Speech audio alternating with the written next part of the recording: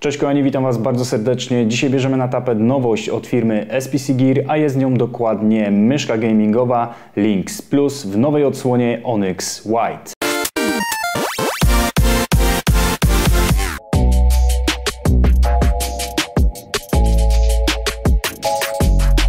Lix Plus Onyx White to propozycja ultralekkiej myszki dla graczy, ważącej zaledwie 59 gram. Jej niską wagę udało się uzyskać dzięki perforowanej konstrukcji obudowy w postaci plastra miodu. Wersja Onyx White to dominacja bieli i drobnych akcentów szarości, dopełniona w pełni adresowalnym podświetleniem ARGB. Onyx White jest konstrukcją symetryczną, która bardzo dobrze leży w dłoni.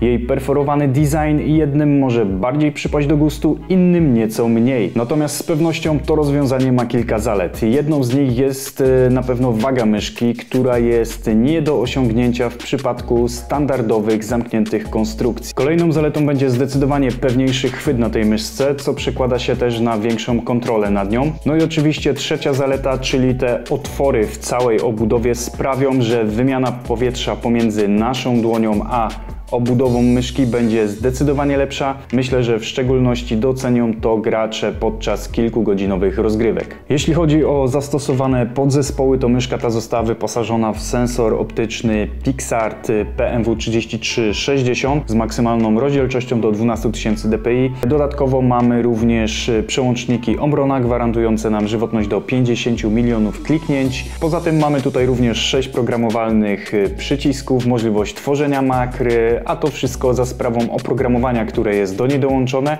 za pomocą którego możemy właśnie zarządzać wszystkimi ustawieniami myszy. Możemy tam również e, zmieniać podświetlenie RGB, a także całkowicie je wyłączyć. Ogólnie menu jest bardzo proste i przejrzyste, tak więc myślę, że każdy bez problemu powinien sobie z nim poradzić. Bez zbędnego przedłużania przejdźmy do tego, co tygryski lubią najbardziej.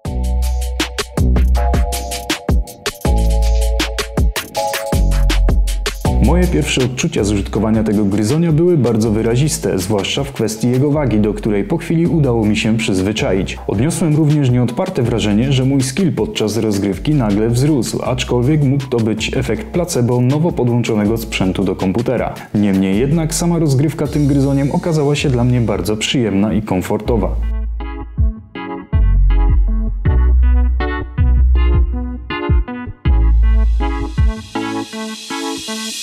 Produkt dotarł do mnie na testy w takim oto białym pudełku, w którym oprócz samego urządzenia znajdziemy jeszcze stickera oraz komplet y, zapasowych ślizgaczy, to myślę można zaliczyć jak najbardziej na plus. Natomiast sama myszka zrobiła na mnie bardzo dobre wrażenie już podczas pierwszych kilku godzin użytkowania. Myślę, że w głównej mierze to właśnie za sprawą jej piórkowej wagi, która wynosi tylko 59 gram, ale i takiej ogólnej stylistyki oraz komfortu jej użytkowania. Moją uwagę natomiast skupił bardzo elastyczny przewód w oplocie, który bardzo dobrze układa się na biurku, przez co jest w zasadzie niewyczuwalny i nie ogranicza nam w żaden sposób ruchu ruchów myszki. Ok, kochani, myślę, że na dzisiaj to wszystko. Linki standardowo macie w opisie. Ja Wam bardzo dziękuję za uwagę. Subskrybujcie, lajkujcie, trzymajcie się, cześć!